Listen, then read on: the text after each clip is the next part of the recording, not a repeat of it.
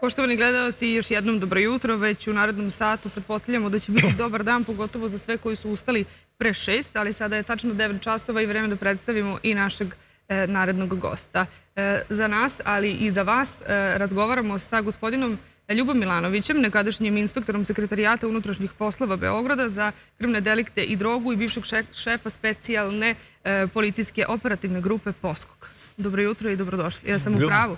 Ljubo, dao si intervju za kurir na naslovnim stranama dva dana. E, moćna strana služba Vedrije je oblačila Srbijom posle 5. oktobra. Čume bio njihov čovek, pred legijom većina stajala mirno. E, ti nisi bio prisutan kad je legija ulazio šamarao ministre u vladi. E, Nenad Batočanin koji je bio policajac ga je nokautirao u, ispred predsjedničkog kabineta i to je Nenada Batočanina kod Zvezdinog strana koštalo života. Klanovi, e, što je Radoje Zviceru udaljeniji, to je opasniji. Arka rodonačenja organizovanog kriminala u Jugoslaviji. Družim se dugo sa mafijom, više nego sa intelektualcima. I rekli su mi da je Arkan prvi kriminalac u Srbiji koji je tokom svog života zaradio makar za svoju sahranu. E, I Ljubu Zemunca i Gišku moraju se sahranjuju prijatelji. Od Arkana počinju velike pare, veliki biznisi, e, saradnja sa državom. Oni postaju, oni svi imaju značke, oni svi imaju e, uticaj i država ih stvara i država ih uništava. I rastvara. Ako dozvolite, prvo bih rekao kako došlo do ovog intervjua i šta je taj intervju izazvao. Kako su reakcije? Kako su reakcije, tako je. E, javljali su se prvo moji prijatelji, javljali su se, javljale su se kolege, javljali su se neki koji razumeju, javljali su se neki koji ne razumeju celu priču, ali sve je to normalno i sve to, sve to okej. Okay. Znači, javljaju se, većina njih misli da je taj intervju uvod u neki moj povratak u bezbednostne strukture. Međutim, istina je sasvim, sasvim drugačija. Mene, novinar koji je, koji je sa mnom i radio taj intervju, već nekoliko meseci molio i jurio i onda ja poštujući vašu profesiju, jednog trenutka sam odlučio da, da, da mu izađem u susret. Jer... Pogotovo što si dugo u pa, znate kako, vodama, pratiš nekoliko generacija se ispratio, Jeste. I decenija. Ono što je interesantno, on je napravio jedan intervju gde je od, nije, nije rečeno tu nešto, nešto novo. Međutim, on je to tako sklopio da je to ispala neka retrospektiva. E sada, neki su se tu pronašli na ovaj ili na onaj način, neki su, kažem, mislili da je to uvod u neki moj povratak, što stvarno nema, ne, nije bio motiv. A, juče ili prekjuče su me zvali da mi kažu da nisam trebao da spominjem stranu službu, jer njen uticaj je i dalje ovde vrlo jak i da ja zbog toga imati neke probleme. Ma kakve probleme? Jutro s pričama, to sam pričao sto puta, moj prijatelj, taži šef engleske agenture u Beogradu, George Busby, on se meni hvalio da je Vrbovo čuman. To, to je za njega bilo najveći uspeh. Pa kaže, neću valjda akademike, intelektualce. Kaže, mene to ne interesuje. Mafijašku državu možemo uz pomoć mafije. Kaže, CIA ima svoju uh, mafijašku grupu Amerika, Rusi imaju svoju, moramo i mi Englezi da stvorimo svoju. I to su pobednici nad Miloševićem. Pa gledajte, ajde sada da to malo pojasnimo gledalcima kojima to može da bude malo jasno, malo nejasno. E, oni imaju nekoliko pravaca delovanja. Jedan od pravaca delovanja je i su i akademici, samo što se njima bave neki drugi ljudi. E, u datom trenutku su procenili, odnosno kad procene koja je, koja struktura treba, njoj prilaze i nju, Ali nisu efikasni akademici kao što su mafijaši. Pa dobro, oni su, pazite, kao i... Dobro, i truju i oni narod, gore od kokaina. A, I heroina. A i oni mnogo duže traju. Ovi, su, ovi imaju vek trajanja i oni su za jednokratnu upotrebu. Samo što oni to ne shvataju, jer pazite, vi kad, kad prila, ono što, što sad kad smo se dotakli te teme, šta je tu bitno? Naša kontraobaveštajna služba je izuzetno jaka i izuzetno operativci koji rade po, po toj problematici su izuzetno efikasni. Međutim, to se u nekim daljim stepenicama zaustavlja. I oni znači, izuzetno dobro znaju i rad i metodologiju svih službi, a posebno engleske koja je tu naj, najprisutnija. I ono što, što je meni tu interesantno, to je da, odnosno zabrinjavajuće u tim odnosima, da se ljudi koji su vrbovani hvale time i da je to postalo javno. Pa dobro, odavljaju da se postalo... Žunića, sredskog špijuna. Pazite, gledajte, osnovna, osnovna, Ovdje se osnovni... ljudi hvale da su ruski špijuni, engleski. A gledajte, ali ja kad bi bio, ja kad bi bio, meni je uvek bilo tajnost na naj, najve, najveća stavka u svemu. Pravi ruski engleski špijuni, da ga pečeš na ražu, neće da prizna. Pa pazite, pa to je, to je osnovni postulat svega toga. Sada, oni imaju razne metodologije prilaska svemu tome. I u određenim, u određenim stvarima se ni, ne, ljudi nisu ni svesni E sad oni kroz taj proces ucene, na neki način vrbuju sa novcem ili sa ovim i onda vi više gledaju da ruše mostovi za njih da nema, da nema. Imate jednu frapantnu situaciju, ja sam bio u Rimu, u našoj ambasadi i u nekoj kontroli ili već nije ni bitno šta. I bili su mladi, mladi ljudi koji su došli na neki tromesečni seminar ili to. I sad ja pričam sa njima onako i kažem, dobro, neko vas pripremao od naše službe za taj dolazak, jer su vam objasnili nešto i počne. I vidim par njih koji onako zainteresovano me slušaju, koji su mi posle toga i prišli i pitali, a na šta ste to stvarno mislili? Pa ja kažem, gledajte, vi kao mladi, e, strana zemlja vas finansira, idete kao na neke seminare, Pa zna se šta stoji iza toga. Da li vas je neko iz naše službe pripremio na tako nešto?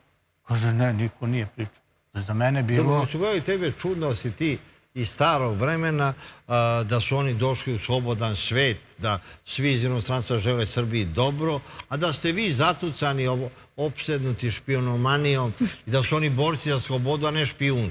E, upravo oni igraju na tu kartu i onda kad ih dovedu u šahmat poziciju, kad više povratka nema, on s njime može da radi šta hoće. I tu leži, tu leži... Ali evo, ti si e, formirao Posko, govorilo se da ćeš biti srpski Elliot Ness, sa iskustvom iz vremena kad je Beogradska policija e, bila profesionalna, kad je na čelu e, te policije bio Kostić, koga su zvali srpski huver, vi ste svi mladi ljudi radili s njim. On nije fermao ni Arkana, ni mafijaše, ni dođe Dolanc, on pohapsi sve te sa njegove saradnike, on drži ih po godinu dana u zatvoru. E, I ti si verovo da će to da se prekine ta mafijaška država i da će da se e, zemlja posle 5. oktobra obračuna s kriminalom. Pa ja još uvek verujem na Na sreću ili na žalost. Ali prošlo je nekoliko vlasti, to se nije desilo. Pa dobro, gledajte, idemo... idemo... si ti video da to postaje strana stvar? U to vreme, u vreme Haga, u vreme satanizacije Srba, govorilo se da državnu bezbednost treba ukinuti i da treba sve da pređe na policiju. U Makišu je napravljen sistem za prisuškivanje, to su Englezi kupili da bi sve kontrolisali i govorilo se da je to agentura britanska. Znači, ne samo mafija da radi za Britance, nego i policija. E, ti si u to vreme pao. Ajde da se ne vraćamo na već neke, neke poznate ili manje poznate stvari. Problem je što ja ovde mogu da pričam samo deo. Ko je tebe smenio? Da li engleska obaveštana služba ili što su tvoji ljudi snimili Čedu Jovanovića kako ide u Surčin Koščume? A dobro, gledajte, to je bila, mislim, opšte poznata stvar. Nije da to niste uradili. Jeste on, on, jeste on posle toga išao i plako kod Đinđića, mislim, i rekao vidi ovi šta rade i onda ispričao neku svoju priču, naravno, tužnu. Sve, to, sve su to segmenti svega toga. Međutim, pozadina cele priče je da se radi onako kako oni misle da treba da se radi i da se radi ono što oni misle da treba da se radi. Naravno, ni... A poličari uvek misle da se bolje razumeju u taj posao od policajac. Dobro. Oni se razumeju sve. Ne bih sad ja o tome, ali samo da se vratim na prethodnu stvar. Ja sve ovo što radite doživite neku satisfakciju nekim malim događajima. Ja sam recimo pre dva dana imao jedan izuzetno prijatan susret. Gospođa mi prilazi na parkingu i kao vi ste taj i taj i kaže ja sam, ja sam čerka e, čuvenog Sime Maksića. Tu je jedan legendarni beogradski policajaca.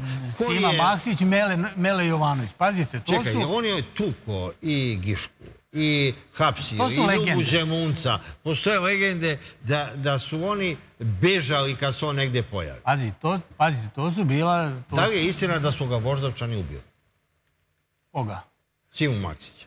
Pa ne znam, mislim, da vam kažem, vi vidite da ja izbegam da pričam o stvarima u kojima nisam učestvovao. Dobro, to su ranije generacije. Koje sam mogo da čujem samo, ja pričam ono u čemu sam direktno učestvovao, mogu da kažem samo ono što mogu da kažem.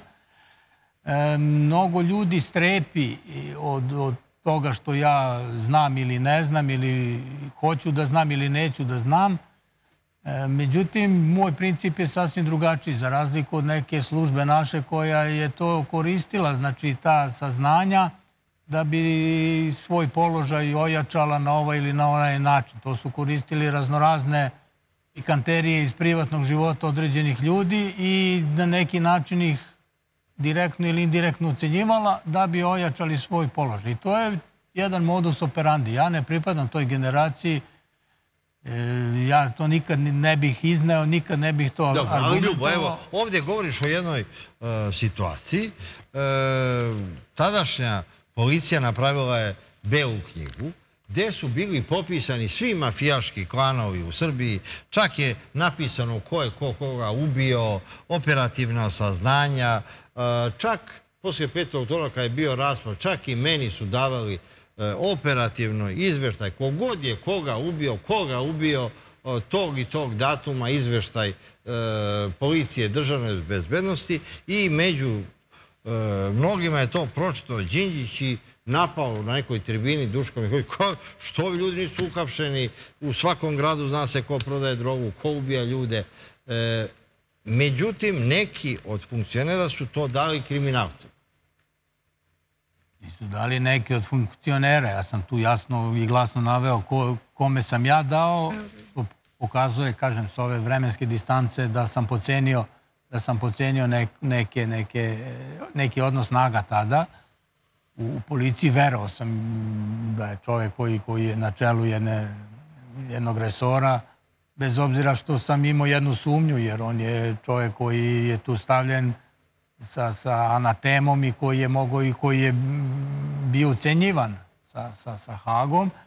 I meni je to u tom trenutku bilo sumnjivo da stavljaš takvog čoveka koji je do juče tuko, tuko studente u ovo, sad ga stavljaš da, da isto to da sad je veliki demokrata. Znači, to mi je onako ko policajcu bilo sumnjivo, ali opet, opet prevlada neki profesionalizam, on je bio načelnik resora i ja mu odnesem to. To je Srete Lukić, evo pročitat će. Da, Lukić, tako je.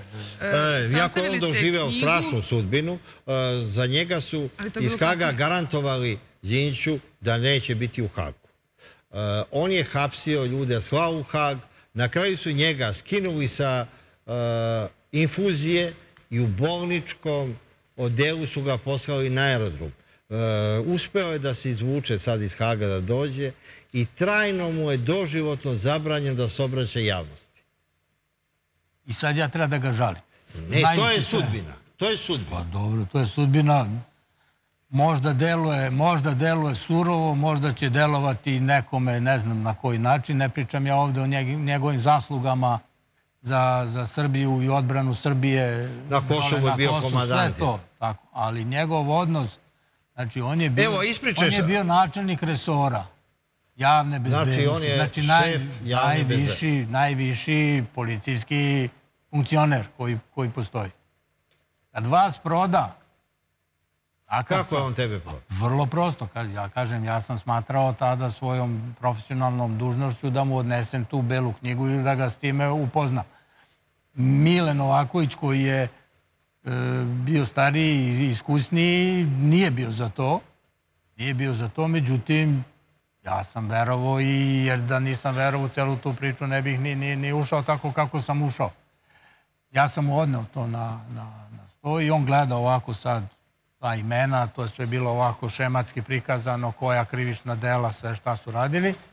I bio je sad Zemunski klan, tu je bio kum, onda ovaj... Spasojević. Spasojević, Šiptar i gore na, na, na vrhu je bilo Šumacher u toj...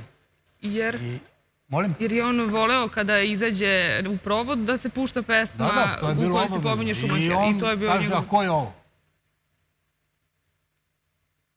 Ja kažem, to je Legija. A on ovako, verujte mi, znači stvarno ne karikira. Ne, ne, ne, je tišina. Ja sad gledam ovako, šta je sad tišina, neka skrivena kan, nešto ne znam. Ja uvek, uvek razmišljam u nekom mom pravcu. Ja kažem, ne, ne, ne spominji to ime. Ja kažem, što ne spominjem? Pa pitali ste me ko je to. Ja kažem, to je... Ne, ne, ne, nemoj to da spominješ, čuti, nemoj. Tad je još bio jak, tad je još bio zemunski klan, odnosno šiptari čume su još uvek bili jedna ekipa. Jedne, jedna ekipa.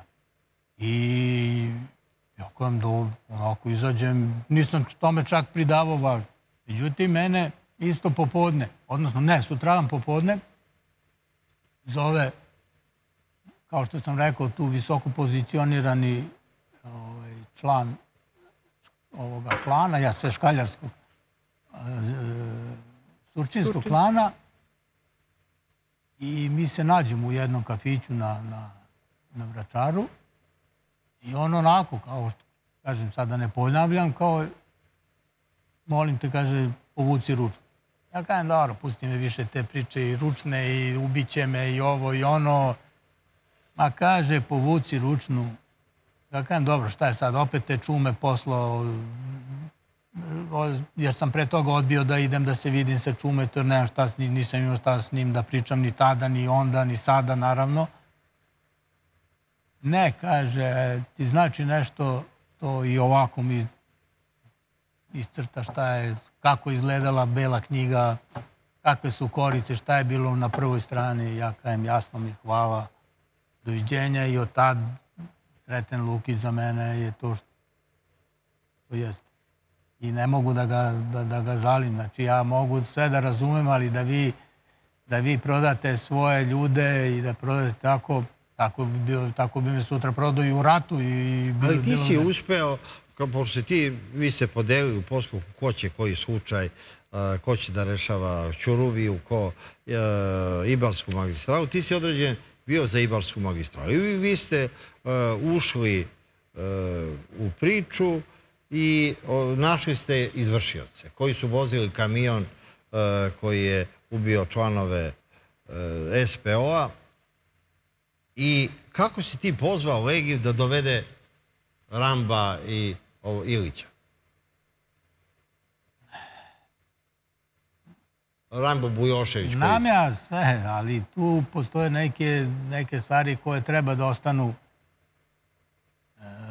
i profesionalno i lično u vezi tog razgovora između mene i njega.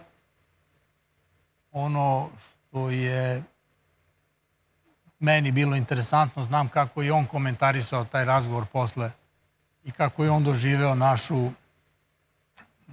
na celu tu priču, jer mi kad smo se, ja sam došao, pozvao me Guri, jer Guri je imao zadat, mislim, zadatak da ga pozove i sve to i ja dolazim kod njega u kancelariju, to je jedan sat nedelja, sedi guri za svojim stolom, čovjek u maskirnoj uniformi, meni okrenut leđima, ono i u dijagonalno drugi u maskirnoj uniformi, ja ulazim i ovaj okreće i kaže Milorad Ulemek. Ja kažem, drago mi je Ljuba Milanović. A kaže, ti si taj čuveni Ljuba Milanović, što me pljuje po celom gradu. Ja kajem, jeste, ja sam taj, samo da ja ne pljujem po gradu, jer nemam razloga da te pljujem, dođi da, da ti ja objasnim sad neke stvari. Pazite, on stoji ovako u šoku, jer sa njime stvarno... Čekaj, njim, pred njim su i ministri, uh, predsjednici stajali mirno. Svi su stali mirno. Znači, svi su stali mirno i on je bio to što je bio. I to niko ne može da ospori i ne treba da ospori i to neka ostane tako. Međutim, njega to iznenadilo. On je seo, mi smo, ja sam mu ispričao da imam, on je pokušao nešto, ja kažem, to nije na tebi. Uglavnom, sam mu do detalja neke stvari gde su mu pričali jedno, gde je bilo drugo, jer pazite, ovi tadašnje rukovodstvo DB-a, znači ovaj, kad je bio onaj Petrović i Mijetović, koji, kome nadimak sam govori ko i šta je, oni su kad je nešto bilo dobro i kad je išlo u korist e, vladi samo i u vezi kriminala, onda su oni to predstavljali kao svoju. Ono što im nije odgovaralo gde se, se Legija spominje to, onda je to svaljivano na mene i na poskok i to je tako funkcionalno. Onda sam ja to Legiji uspeo da objasnim i završio sam sa svojom rečenicom, da ne kažem čuvenom, ali koja se nažalost obestinila i po meni i po njega. Sad ja ne mogu da psujem, ali ovde sam naveo onako u originalu e, kako, šta sam mu rekao i na bip i ti i ja posle ovog razgovora i stvarno se tako desilo. Ja on je zaista doveo ja neposredni izvršioce Ibarske magistrale. Ko je njima garantovo da će dobiti lažne pasoše, da će dobiti doživatno izdržavanje za porodicu, da će otići negde u inostranstvu ako bi rekli kojim je to naručio? Ja ne znam da li da, da ovaj razgovor vodimo u tom pravcu. Jeste to interesantno i napisano i ispričano i plašim se samo da e, ne uđemo u jednu zamku da ponavljamo ponavljamo ono već... Ali šokiralo je to javnost, čitav region se ustao kad je to pročito. A jeste, ja mislim da su oni više ustali zbog nekih drugih stvari koje sam ja naveo ovde, koje se tiču sadašnjosti. Ja mislim ne, ne, da je... završimo ovu priču pa ćemo preći.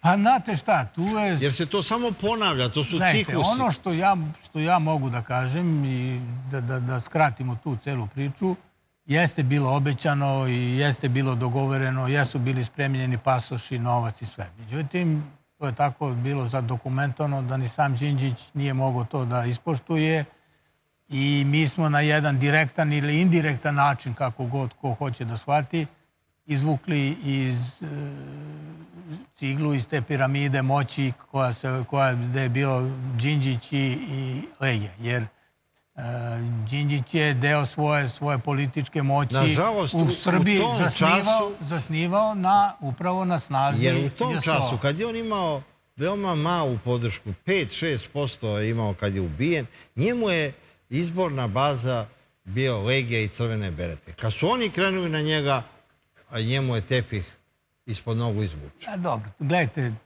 To je upravo ono što, što sam ja naveo i tu se vidi, tu se vidi i ko je bio, zašto im je trebao pomenuti ovaj, i zašto je, zašto je on u tom trenutku veličan, upravo ovaj razgovor koji ste vi imali i onda vam je redoste stvari pokazao zašto je, zašto je, to, zašto je to bilo tako. Da im je trebao da ga uzdignu na neki ne, neki viši nivo Đinđića samog, verovatno bi upotrebili akademike. Ovako, pošto su išli na to da ga skinu, pa neće ga skinu akademici, nego upravo Ali oni ih dovedu. Oni su bili da skinu i Miloševića, i Đinđića, i koga upravo, potreba. Jer pazite, e, postavlja se pitanje, kaže, kako oni njih, kako ih, na koji način ih vrbuju, na koji način plaćaju i da li ih plaćaju. Pa to je vrlo prosta, prosta šema, kažem, naše službe znaju i imaju, imaju taj modus operandi. Mi svi koji se bavimo tim poslom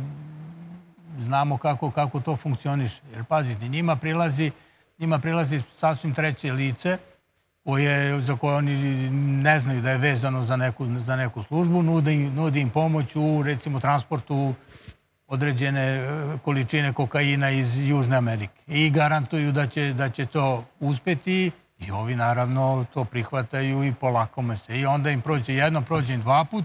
Oni ni ne znaju da iza toga stoji ne taj posrednik koji to, taj posrednik je između strane službe koja im to omogući jer im je to najjeftinije. Ovi zadovoljni, e, onda posle toga... Kaže, mi ćemo otvoriti sve kanale, dajte džinjića. Samo vi dajte, samo vi radite to što treba da odradite i oni tu ne daju ni dinar toga rizika nema, jer to bi možda prošlo i sa njima i bez njih. Ovako, svi zadovoljni i to i danas, pazite, to, i danas, tako. Evo, ti si bio uh, naš diplomatski predstavnik i u Zagrebu i u Podgorici, uh, u epicentru ovih sukoba. U vreme kad si ti bio u Zagrebu, tamo se krili, uh, izbegli Zemunci i Kalinić i Simović i, i Vlada Budala i tu se međusobno obračunavali na kraju su ovde izručeni u zatvorima su Ovde si vrlo zanimljive stvari rekao o škaljarskom kavačkom klanu. E, pre neki dan na Crnogorskoj televiziji se pojavio smenjeni tužilac Miloje Katnić, koji ispričao da je najveći neprijatelj celog Balkana Jovica Vukotić iz škaljarskog klana, a da su ovo i Zvicer i Kašćelan i e, svi Kavači Velja Nevolja i to da su to konstruktivni elementi koji su držali mir i prosperitet na Balkanu. Gledajte, određene ljude samo treba pustiti da pričaju i oni se sami, sami razotkriju. Kao što je i ovaj kao što ovaj moj intervju izazvao raznorazne reakcije i pokazao ko šta misli i ko je na čijoj strani svesno ili, svesno ili nesvesno. Znači, e, kažem, sinoć ili juče sam dobio ovaj, neku poruku da nisam trebao da, da, da spominjem nisam trebao da spominjem kao nekog. Ja, onako me rekao koga, to ja nisam smeo koga se ja to treba da se plašim. Pa niko pojedinačno, ali kao nisi trebao da spominjem službu. Ja kažem zbog čega nisam trebao da spominjem, pa kao znaš oni su i dalje moćni. Ja kažem u čemu su moćni što se mene tiče.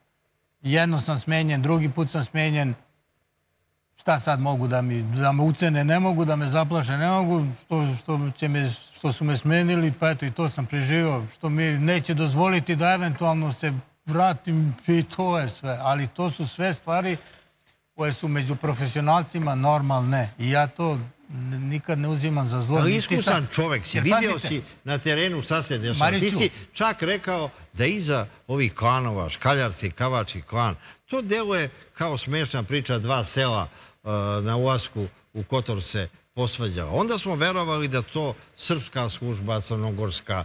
Onda si ti prvi otkrio da iza toga stoje neki Rusi, da neki zapadni centri moći, da, da je to jedna strašna utakmica međunarodna koja se prelama i koja može da destabilizuje čitav region. Ali gledajte, sve se svodi na novac više nema, nema, nema, nema Jer ovi ljudi raspolažu više nego države. A jeste, ali znate šta je suština? Državu sputavaju određene Država mora da radi po da zakonu. Ovi mogu da rade šta god određene, određene, određeni deo, odnosno službe, moraju da rade po nekim takođe pravilima. Međutim, Ovi uvek na život i smrt. Uvek postoje, e, naravno, znači njima je sve dozvoljeno, osim kad padnu, onda se pozivaju na ljudska prava i na kršenje zakona i ustava. Mislim, i to njima daje ogromnu, ogromnu Evo, prednost u svemu tome. Miljković juče na suđenju kaže, šta ovi ubijeni, kaže, nisu to studenti teologije. I kaže, to su mrtvi ljudi, to nije krivično delo. Ako nema tela, nema dela. Pa dobro, to su, pazite, iz njih govori nešto što ih je neko pumpao da to, da to pričaju. To je generacija koja je rasla tako pod eh, raznoraznim serijama, raznoraznim... Čekaj, oni su gledali Narkos, gledali su Escobar. Eh, eh, čak i stari mafijaši, kaže ova omladina, M su drogirani, M gledaju te serije. Oni hoće, oni su videli tamo kasape ljude, melju, sve što su videli, oni žele život i serije. A jeste, ali gledajte, ajde sad ovako da postavimo. Moja generacija i tvoja generacija, mi smo imali neke idole. Ja sam sad upravo spomenuo, recimo, za mene dok sam se školovo i dok sam ono, kad sam počeo, pazite, Sima Maksić, Mele Jovanović, posle toga nešto mlađi Bižić, kako god posle šta se, šta se izdešavalo, to su bile... Recimo, tad je policaja, ja sećam Gojkovića, na primjer. Gojković. To je ko svetski gospodin, ko akademik. Pazite, to su, to su bile veličine. Vi imate sada, ne, ne, ne bih hteo da, da, ne, da nekog zaboravim. Znači, imali ste drugo odeljenje u gradskom supu gde su bile ale od, od, od policajaca. treće odeljenje, četvrto odeljenje. U četvrtom odeljenju, ajde da spomene, imali ste sina tadašnjeg ministra koji se nikad nije ponašao tako, nego je bio jedan od, od, nosilaca, nosilaca posla. E, imali ste rukovodioce na, u tim odeljenjima koji, od kojih ste vi imali šta da naučite, koji su stajali iza vas. I onda dolazi odjednom ono što, što, što, što, je, nismo prepoznali, je, odjednom dolazi do, do neke, nekog debalansa u svemu tome. Vi vidite da, bar ja sam osetio da, da služba, odnosno to, da vas više ne štiti na onaj način kako naravno da vas štiti ne, ne u nekim delima krivišnim, ne daj Bože, ali onome što radite, što ste trebali da radite za, za, za tu službu. I vi kad izgubite tu sigurnost, vi onda počinjete da sumnjate. A zašto? Ulazi, ulazi velika količina novca, menjaju se, menjaju se pravila i kažem, ja opet sada ne bih reklamirao nekog... Dobro, ti si ovde rekao da, da su oni evo. kupovali policajce za 100 evra, da pa je ranije su oni radili za policiju kriminalci, a tad policija počne raditi za kriminal. Nije tad, ja to pričam već 20 godina. 20 godina pričam još jednu svoju izjavu imam, ali je niko ne uzima i niko je, meni je žao što je niko ne, ne, ne uzima da je analizira. Ja i dan danas tvrdim da mi imamo, sada ne, ali sam tvrdio da, mi, da smo mi imali najbolju, najbolje policajce, a najgoru policiju. I niko nije hteo da stavi prst na čelo da kaže, jeli bre, šta, Kako je šta je to, šta to znači? Šta to znači? Pa znači upravo, upravo to. Znači, operativce i ljude koji se bave profesionalno svojim poslom su vrhunski. Znači, mogu da se mere sa svim ovim operativcima jedni, drugi i treće službe. Izuzev izraelska služba koju, koju posebno, posebno cenim i apostrofiram i ona je, mislim da je malo izuzetak od svega toga. Znači, kadrovski može da se nosi sa svima, ali problem nastaje kad krenemo gore i kad se tu umeša politika na ovaj ili na onaj način, tu se gubi, tu se gubi oštrica svega. Jer mnogo stvari ostaju u fiokama, ljudi počinju da sumnjaju, jer vi kad počnete da sumnjate u rukovodeći kadar, tu se, tu se gubi svaka. Mi posle ovoga bele knjige, ja više nijednu informaciju nisam dao nigde. A to zbog tog momenta ucene, jer rekli ste da ste prvi put shvatili da, da, da bi se nešto promenilo u borbi protiv organizovanog kriminala u državi, da na e, čelo, odnosno da glavnu fotelju u bezbednostnim strukturama treba da zauzmu ljudi koji su odani državi, a ne koji padaju pod uticaj tog inofaktora. Tako je bilo i sa ovim gospodinom Sretenom Lukićem. Njega su navodno ucenjivali Hagom, a kada, se to, kada ste to ponovo shvatili? S obzirom da se od tada ništa nije promenilo. Dobro, ti ovde, ovo je interesantna izjava koju si dao, ovaj, e, da je radite u Markoviću, čovjeku koji radio u javnoj u policiji na aerodromu, šef gradske policije, bio i postavili su ga posle smenjanja Jovice Staniša da šefa DB-a, Ligija rekao, sada i ti ideš na zadatak. E, mislio je, e, ti si nas slao na zadatke, sad i ti ideš na zadatak u Zabelu. Tvoj zadatak je da ćutiš.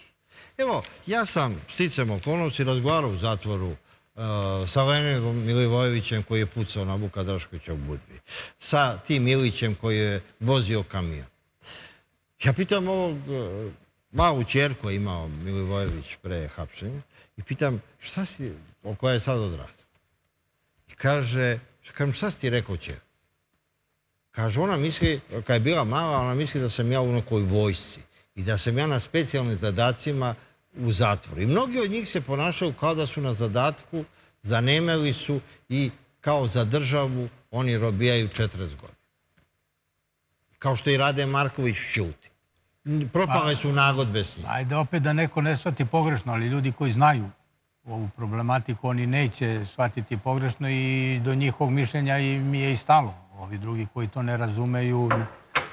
I ljudi koji su, koji su bili, to su bili ljudi koji su radili u službi. Jer pazite, imate veliku razliku. E, mene je jedan advokat, kad sam bio advokaturi, sad pravi malu digresiju, ali da bi shvatili, stalno uh, u društvu ostalih advokata provocirao na ovaj ili na onaj način.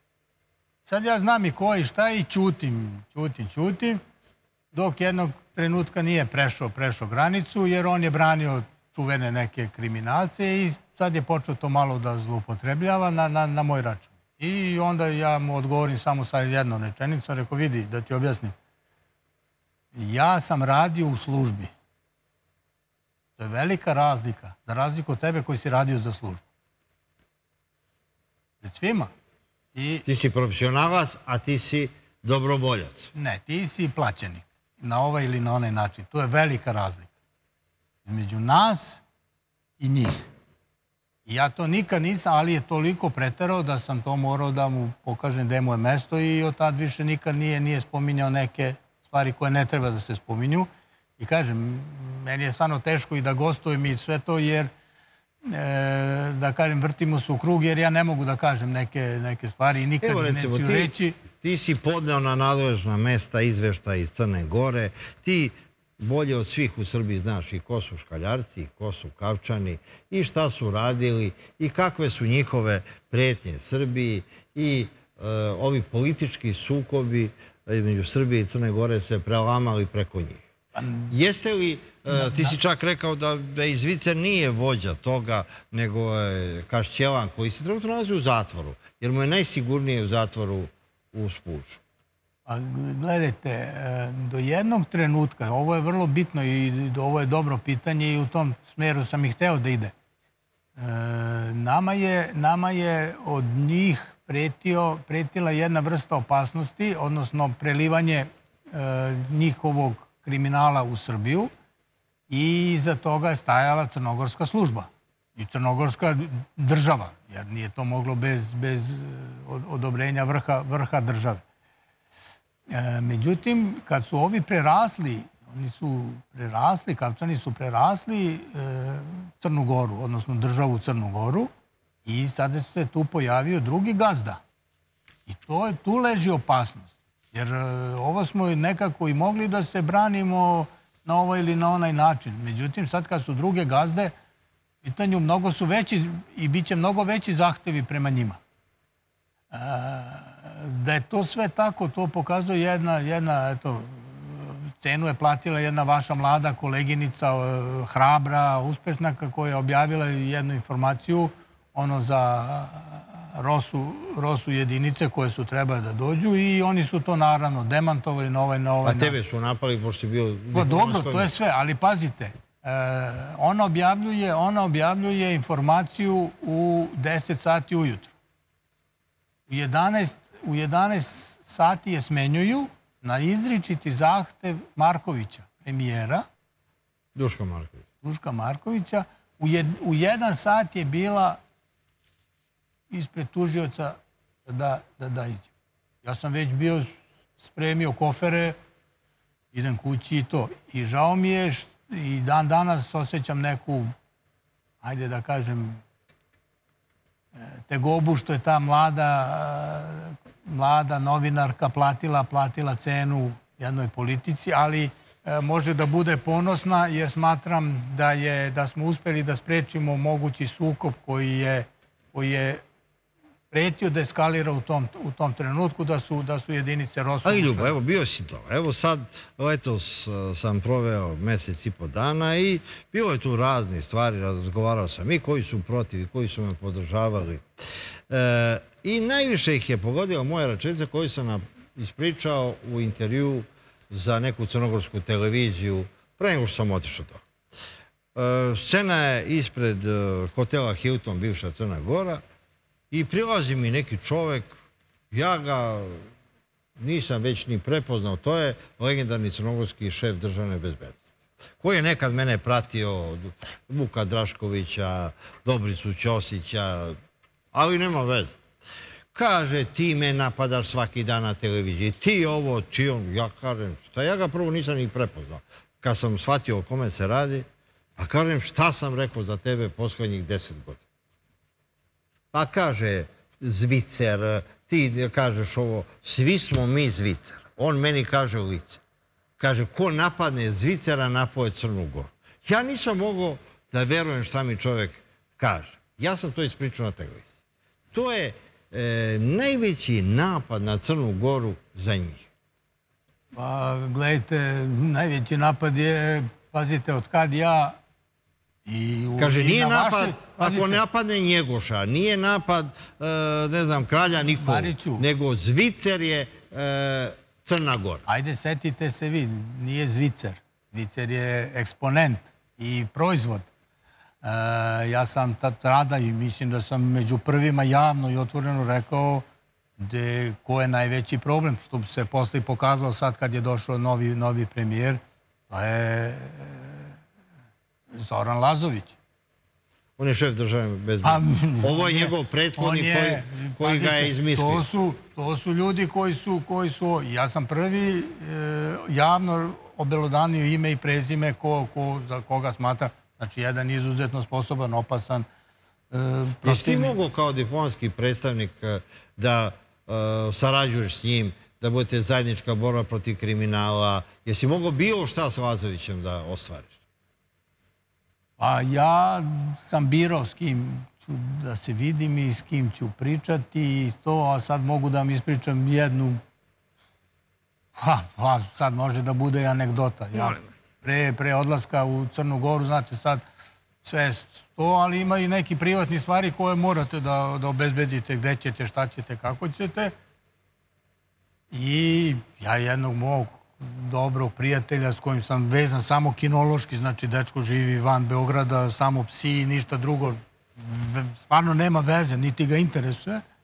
I mi u nekom razgovoru, ja kažem, kaj kaže, znam da ideš u Crnu Goru, kaj me, imaš ti nekog tamo da se nađe stan? Ja mu rekao, a pričam njemu zato što idem u Crnu Goru sa psima. I sad je tu problem naći stan gde će moći psi, gde će biti blizu neko šetalište i sve to. I on kaže, ajde, vidjet ću. I zove me za, za dva dana, daje mi telefon, ne kaže mi ime i prezime, kaže ima stan tu, tu sve mi opiše, poslate mu slike, jer imao je nekog svog prijatelja koji je tamo renovirao. Ma ja kažem, sve to u redu, mene ne zanima, ja sam uvek imao najgori stan od svih diplomata. Mene samo zanima čovjek prima sa psima. Kaže, da, prima, e, čak je i on imao Dobermana, koga sam ja tad u tom vreme imao, kaže, nikakav problem. Kolika je cena? Cena se uklapa u sve ovo. Kaže, evo, javit će ti se on. Javlja se čovek, ja, on sve onako, ja kažem, ma sve to u redu, nego ja imam dva psa, ma nikakav problem, rešeno sve, evo, spustit ću vam i cenu i A kažem, ok, sve to lepo, stan, video sam stan, ajde, reko, dogovorit ćemo se, ja moram ta, tamo napišem zahtev, da kažem gde je lokacija, kolika je cena, da to odobre formalno.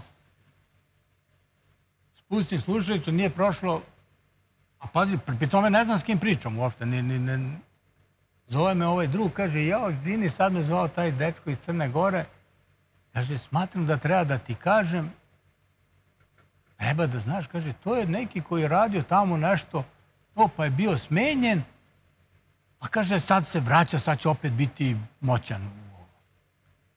Sad meni odmah alarm se budi. Kažem, dobro, ajde, idi, zovi ti tog tvoj, pite kako se zove ovo. On me zove za jedno pet minuta, kaže, zove neki Zoran Lazović, kaže. Šef crnogorskog dede. Ja. Čekaj, on da te dočeka i kontroliše. I ja, pa ja kajem je, da ne psujem sad, pa ja kajem rekao da sam da... Pa ne bi Čekaj, oni su teji da te stave po kontrolu. Pa nije, ne, ne, ne, pa to bi je ispalo slučajno. Mislim, slučajno. Čekaj, ti veruš da je to slučajno? Mislim, slučajno.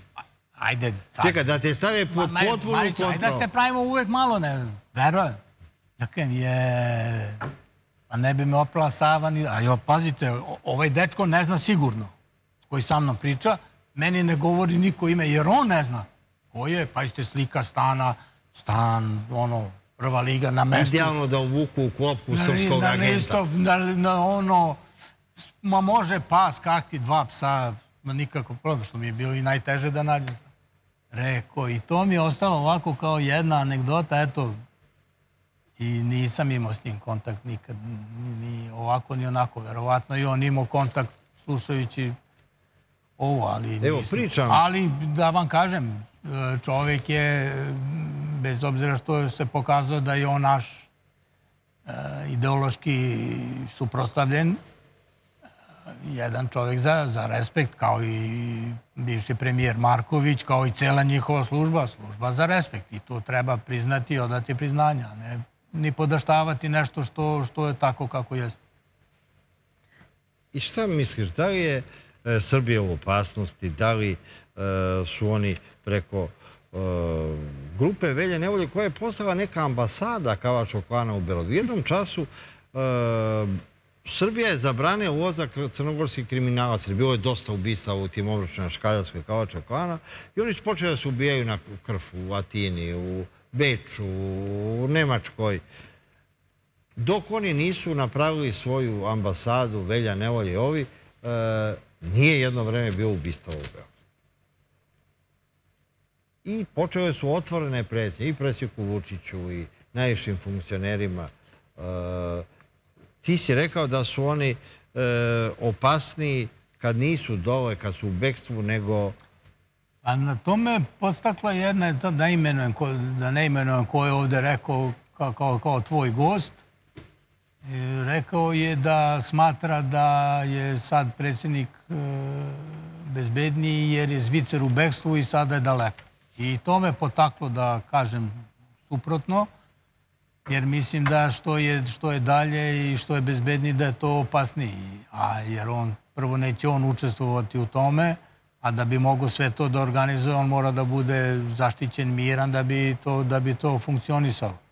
Mora da bude protok novca i, i dalje, da bi to sve moglo da se finansira i tu leži opasnost. Znači, kao što opasnost je latentna, opasnost je uvek prisutna, kao što je uvek prisutan i pritisak na Srbiju na ovaj ili na onaj način. Ovo će biti jedan od, takođe, od pritisaka, gde jednostavno će tražiti da naše službe se angažuju, gde jednostavno će unositi u nemir, nemir u, u razmišljanje ličnosti koje, su, koje, koje mogu da budu na njihovoj listi i samim tim, vi ako mislite i na, na taj deo, pitanje je koliko možete da obavljate svoj posao. E sada, neko to može, neko to, neko to može, za sada... Jesi bio u ovaj opasnosti je... u Crnoj Gori? Je ti pretio kavački klan? Znali su oni ti kositi? Mm, nisam, stvarno, ja bih, ja bih lagao, ja nisam imao stvari.